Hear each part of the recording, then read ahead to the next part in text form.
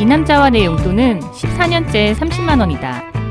누군가는 용돈이 너무 적은 거 아닌가 생각하실 수도 있지만 나는 닭가슴살과 소주만 있으면 한 달을 살기 때문에 가끔은 용돈이 남아 다음 달로 이월시킬 때도 있다.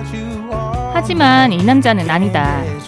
용돈을 주면 며칠 안에 다 써버리는 저 남자는 매번 용돈 좀 올려달라고 어린애같이 떼를 쓴다. 딱 더도 말고 10만 원만 올려줘. 월 40. 아니 30만 원에다 플러스 10만 원 40만 원이야 자기야. 알아 나도 40만 원.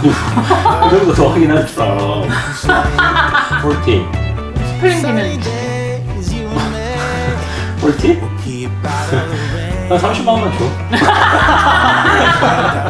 이 여자는 14년째 용돈을 안 올려준다. 그래서 나는 용돈을 만들어 쓰는 편이다. 용돈을 만드는 방법은 여러 가지가 있는데 첫 번째는 물건을 가져다 당근에 파는 거다. 애들 장난감도 팔고 이 여자 물건도 팔고 돈이 될 만한 것들은 일단 다 갖다 팔아버린다.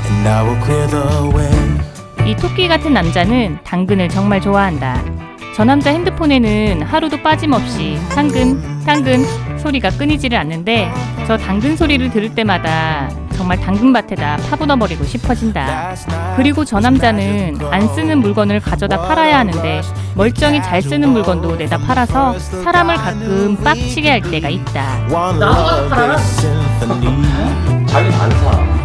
You are 아, in 씨, 못 such a 팔지. good shape. 더 이상 팔 물건이 없다면 그 다음은 친구를 팔아야 한다. 얼마 전 이 여자가 모르는 내 친구 민식이가 결혼을 해서 축의금 때문에 10만 원을 달라고 했는데 사실 나는 민식이란 친구가 없다. 그리고 이 여자는 내 친구 종민이가 저번 달에 돌잔치를 한 줄 알지만 사실 종민이는 아직 결혼도 안 했다. 나는 가상의 인물을 만든 뒤 결혼이나 돌잔치를 한다고 선의의 거짓말을 해서 부족한 용돈에 보태 쓰는 편이다. 친구가 별로 없는 이 남자는 거짓말을 하려면 좀 성이라도 있게 하던가 툭하면 민식이 핑계로 돈을 달라고 한다. 도대체 그 민식이란 친구는 결혼을 몇 번째 하는 건지 가상의 인물이지만 약간 부러워지려고 한다. 이 남자는 14년째 민식이를 팔고 있지만 이 정도 팔았으면 이젠 성의 있게 다른 이름을 대줬으면 좋겠다. 그리고 마지막 필살기는 그냥 지르는 거다. 대부분의 유부남들은 허락보다 용서가 빠르다는 걸 알고 있다. 진짜 갖고 싶은데 용돈으로 커버가 안 될 때는 돈은 필요 없고 그냥 용기만 있으면 살 수 있다. 하지만 그때마다 항상 뒷감당이 두렵긴 하다.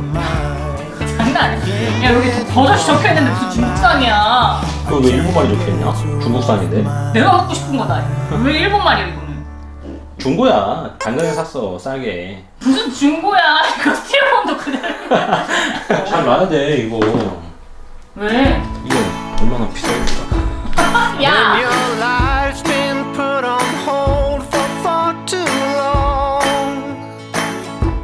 나는 매번 이 남자에게 돈 좀 아껴 쓰라고 잔소리를 하지만 사실 대부분의 유부녀들은 내 남자가 어디 가서 돈 때문에 기죽는 거를 원하지 않는다. 하지만 철없는 저 남자는 힘들게 번 돈을 너무 쉽게 쓰는 것 같아 나도 모르게 매번 잔소리를 하게 된다. 14년째 용돈 10만 원만 올려달라고 귀찮게 하는 저 남자를 보면 그냥 올려줄까 싶기도 하지만 저 남자는 돈을 주면 어디다 쓸지 뻔히 보이기 때문에 주고 싶다가도 이상하게 주기 싫어진다. All you really need to do is search within. Ah. 누군가는 유부남들을 보며 본인이 번 돈으로 왜 저렇게 찌질하게 사냐라고 생각할 수 있다. 하지만 대부분의 유부남들은 이렇게 사는 걸 찌질하기보단 당연하게 생각하고 살아간다. 그 이유는 내 인생보단 내 가정이 더 소중하기 때문이다. 그래서 오늘도 많은 유부남들은 얼마 안 되는 용돈으로 가족들과 소소한 행복을 느끼기 위해 통 큰 소비를 하며 살아가고 있다.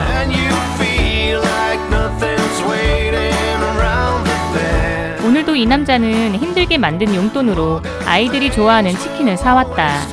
어릴 적 나도 아빠가 가끔 치킨을 사오시면 그날은 세상을 다 가진 듯 참 좋았던 기억이 있다. 내가 봤을 때 모든 유부남들에겐 낭만이 있는 것 같다. 비록 주머니에 돈은 별로 없지만 그 작은 돈을 본인한테 쓰기보단 가족을 위해 쓸 줄 아는 그런 낭만. 이런 유부남들에겐 찌질하다는 단어는 어울리지 않는다.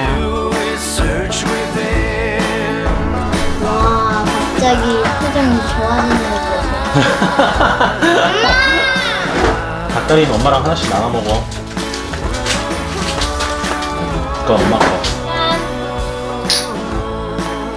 은채는 커서 술 마실 거야? 절대 안 마셔 왜? 진짜 제가 엄마처럼 되겠어요 맞는 말이잖아요 왜 째려보세요 맞는 말이지. 엄마 아 해봐요